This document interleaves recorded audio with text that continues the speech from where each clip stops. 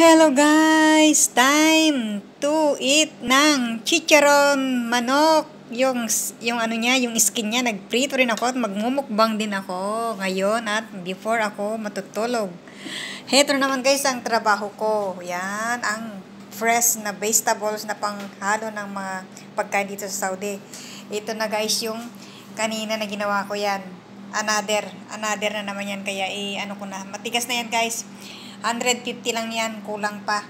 Marami pa silang order na ipapakain doon sa simbahan. Alam nyo guys, ito, itong mga ito, itong fresh na onion, is spring onion, napakahalaga dito guys. Ito ang masarap na ihalo ng mga sambusa.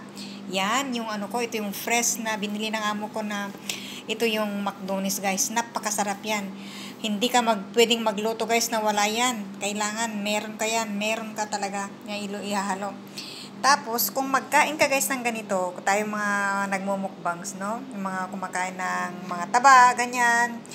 Alam niyo, kahit marami kayong pagkain na ganyan, na marami kayong kinakain na mga matataba, na yung mga ganito, yung fried na ganito, ang gagawin nyo guys, pagkatapos yung magmukbangs, no?